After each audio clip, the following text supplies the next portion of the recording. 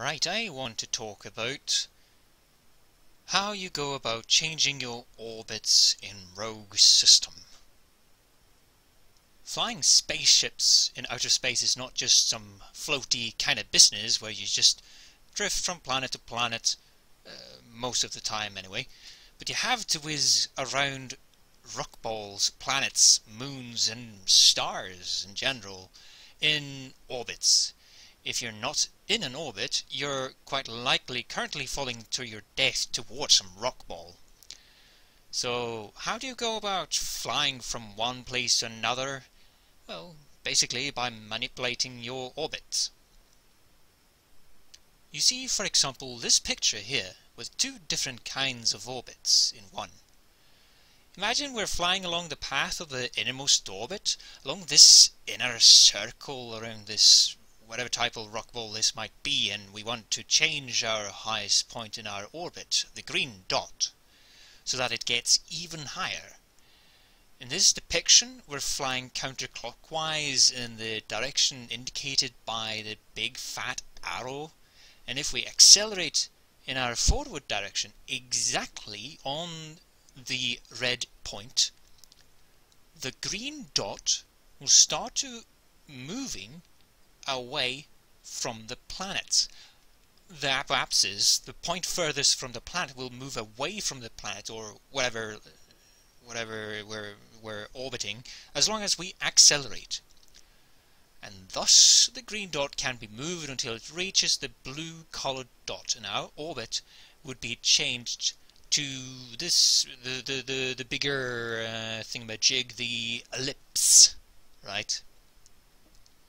And that's the um, way of changing your orbit, which is maybe the easiest to understand, really, and, and uh, which is the method by which satellites and spacecraft mm, quite often, or most often, I don't know which, alter the orbits in in our day, in our modern day, really the maybe most common method of transferring orbits is called the Hohmann transfer.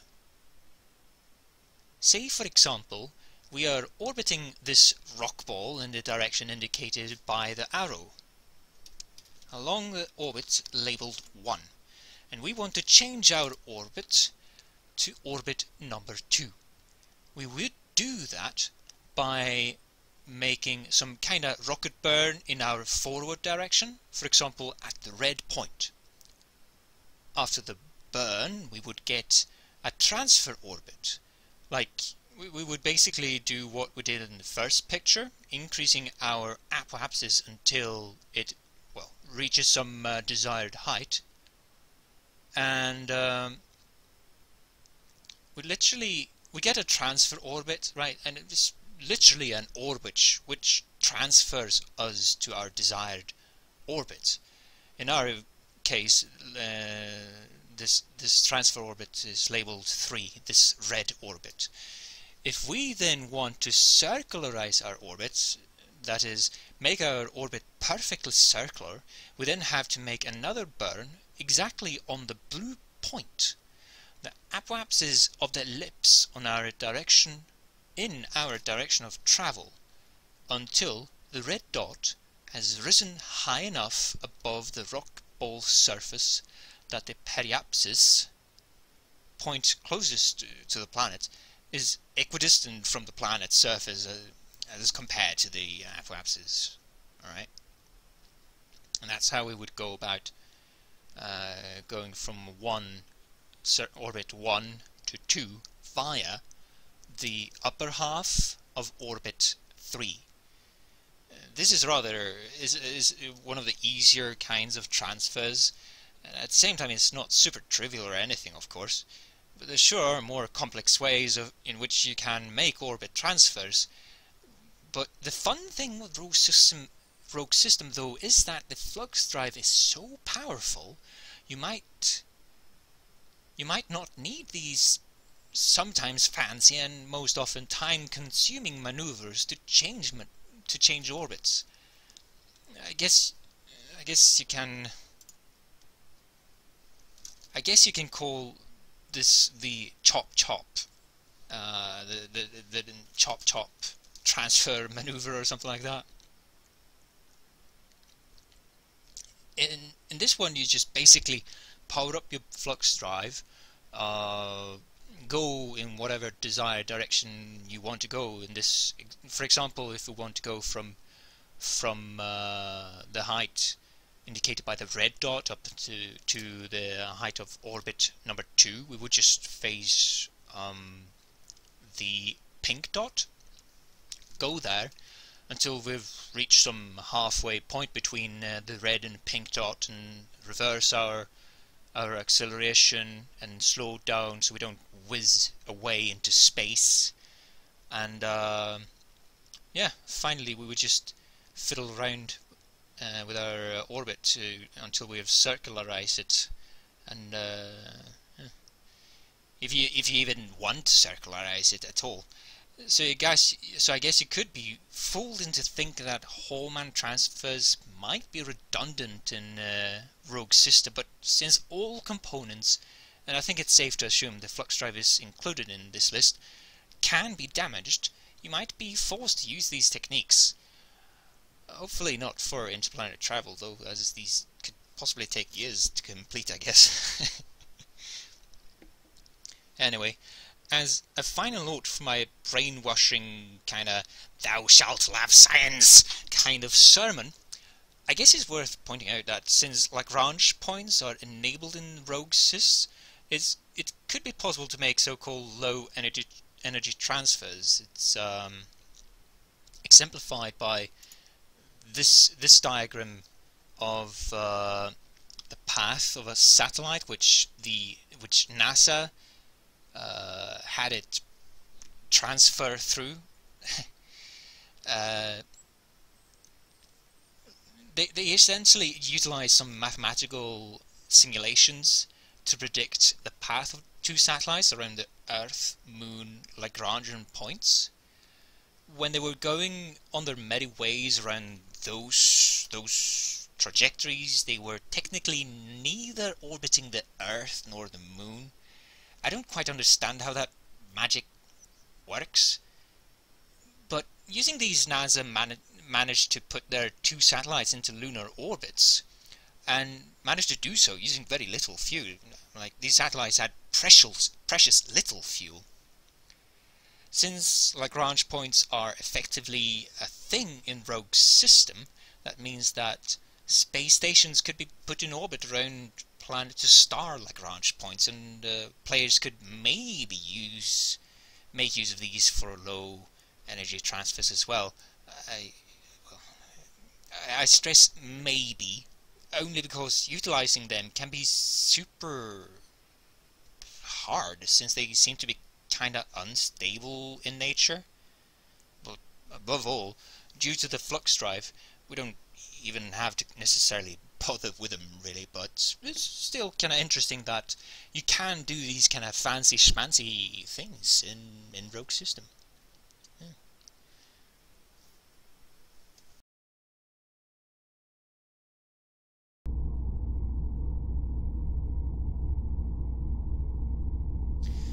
So we have here a perfectly circular orbit. I'm gonna make a Hohmann transfer to change the radius of our orbit to, let's say, 1,200 kilometers. And because it's perfectly circular, this orbit, we don't really have to worry about whether we're at the periapsis or apoapsis because, well, it's periapsis and apoapsis is pretty much everywhere on the orbit because it's perfectly circular. And we start off doing the transfer by simply pointing towards the prograde direction. up a little bit, like that. And we set off.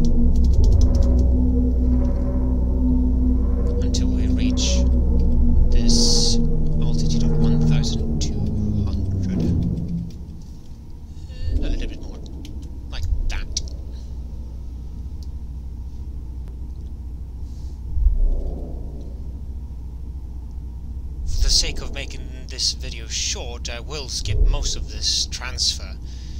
Uh, the transfer from uh, the periapsis to the apoapsis, where we will make our second burn to inject ourselves into the higher orbit, will take about 50 minutes of in-game time, which I will be powering by in, uh, well, I don't know, that divided by 5, so 10 minutes. I'll have to make a cup of tea while I'm waiting.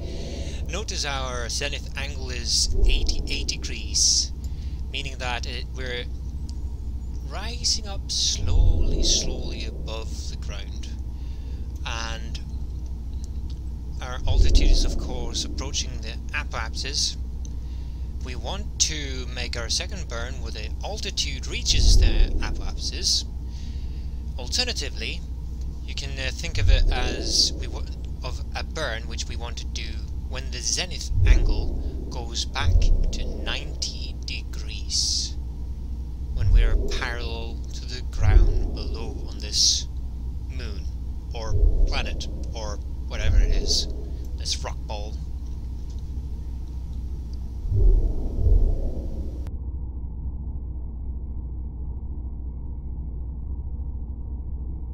We're kind of approaching our apoapsis and our zenith angle is pretty soon close to 90 degrees. We want to wait until we're almost exactly, only just exactly before the apoapsis point. If we start increasing, if I just thrust carefully forwards with the RCS thrusters, you see the apoapsis will increase. So we want to wait until we're just about before we get there. We can start use our regular thrusters. Our zenith angle is still a little bit off from 90 degrees.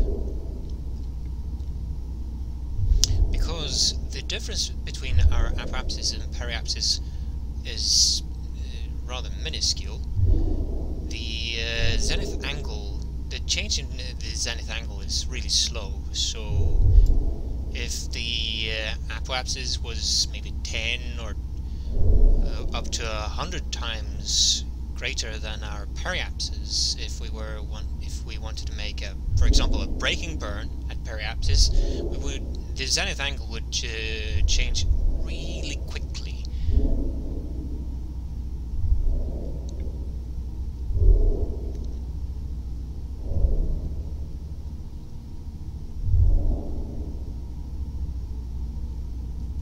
So carefully start to make this transfer burn. And you see the apoapsis is almost, almost, oops, isn't changing at all. We can actually go back down a bit. And it's not perfect, but the periapsis is close enough to the apoapsis. Now, perfectly circular orbit, you would basically use these side thrusters to just fix this a little bit. You can just play around a little bit. Let's see here if I use the side thrusters, you get uh, not quite what we want. There. Going uh, bit side to side, then backwards and forwards, fixed it, and uh, well, uh, our current altitude doesn't really match neither apoapsis nor periapsis, so either of these numbers are wrong, but you, whichever mm, way, we have something which is as close as circular an orbit we can get actually now. Just as I promised, well, I hope this this is kind of right. Oh, yeah, uh, it looks more uh, better. Like at 1200 kilometers altitude. There you go.